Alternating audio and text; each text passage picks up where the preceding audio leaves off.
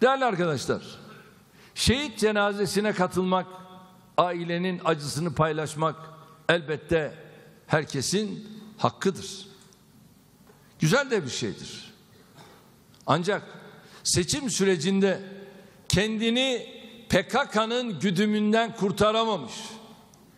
PKK ile işbirliği yapmış ve bu konuda atması gereken adım daha dikkatli olması gerekenler daha özenli hareket etmek zorunda olmaları gerekir. Acaba buraya gitmek ne getirir, ne götürür? Çünkü bu şehit nereden geliyor? Senin işbirliği yaptığın o PKK'nın canavarlarının, alçaklarının evet siyasi görüntüsü olan HDP ile sen işbirliği yapmışsın. Yani şimdi bunu söylemeyelim. Bunu yutalım mı?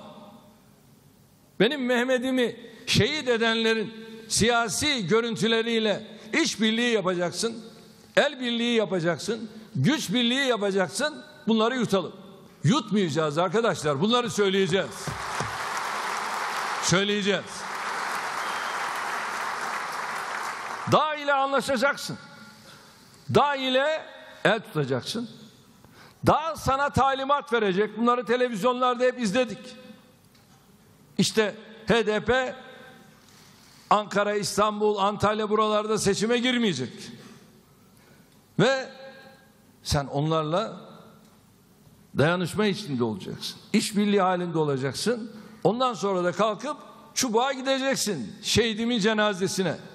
Ya siz benim çubuktaki köylümü, o kardeşlerimi hiç düşünmüyor musun ya? Onlar acaba benim oraya gidişimi nasıl karşılayacak?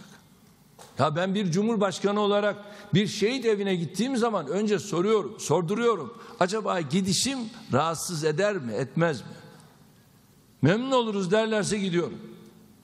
Bir sıkıntı var derlerse gitmiyorum. Niye? E, ikinci bir sıkıntıyı niye yaşatayım?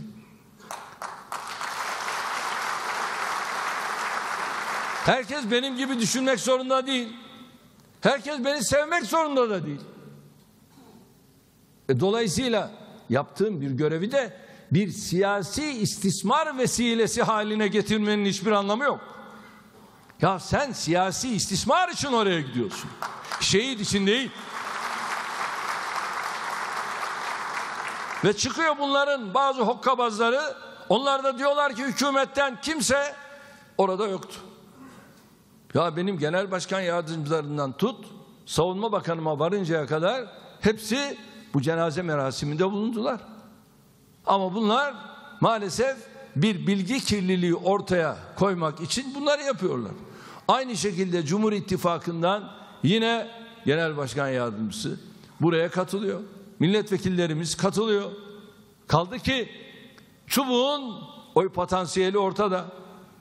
Burada Cumhur İttifakı'nın yanlış da söyleyebilirim yüzde yetmiş iki gibi bir potansiyeli var. Adeta sen zaten orada hiç yoksun. Ve kalkıyorsun o köyü terörist olarak ilan ediyorsun. Dolaylı yollardan. Yani nasıl ifadeler kullandıklarının da farkında değiller. Ortada böylesine bir hassasiyet varken katili PKK olan şehidimizin cenazesine katılımın usullere uygun bir şekilde yani gereken yerlere bilgi verilip tedbir alınmasını sağlayacak biçimde yapılması gerekir. Sen bunu da yapmadın. Veya yapmadınız. Gereken yerler bellidir. Kaldı ki aile zaten gelmenizi istemiyor. Bir de o var. Buna rağmen oraya gidiyorsunuz. Hiç kimsenin biz şiddete maruz kalmasını tasvip etmedik. Etmeyiz. Geçmişte kendi arkadaşlarımızın başına gelenleri, benzer hadiseleri ve buna CHP yöneticilerinin verdiği tepkileri gayet iyi biliyoruz. Bay Kemal, Hacı Bektaş'ta bizim bakanımız Bekir Bey senin gözlerinin önünde nasıl saldırıldığını, nasıl darp edildiğini biliyoruz. Kalkıp da konuşmanda bir orada özür veyahut da bir geçmiş olsun temennisinde dahi bulunmadım. Bunlar da bizim kayıtlarımızda var. Aynı şekilde Enerji Bakanımız Taner Bey'e yine yapılan CHP'liler tarafından saldırı ve sizin besleme medyanızın nasıl başlıklar attığı bunların hepsi bizim gündemimizde var. Nasıl başlıklar attıklarını biliyoruz. CHP'nin Çubuk'ta yaşanan hadiseyi mecrasından saptırarak işi şehitlerimize, terörle mücadeleye, AK Parti'ye, hükümete ve millete karşı bir nefret kampanyasına çevirmeye çalışması yanlıştır.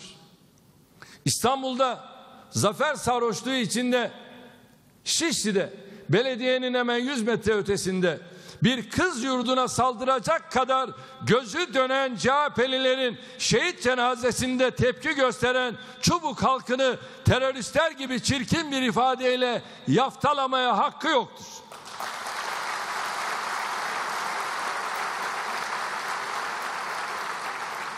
O yurttaki kızlarımızın o geceyi nasıl geçirdiklerini Bay Kemal biliyor musun?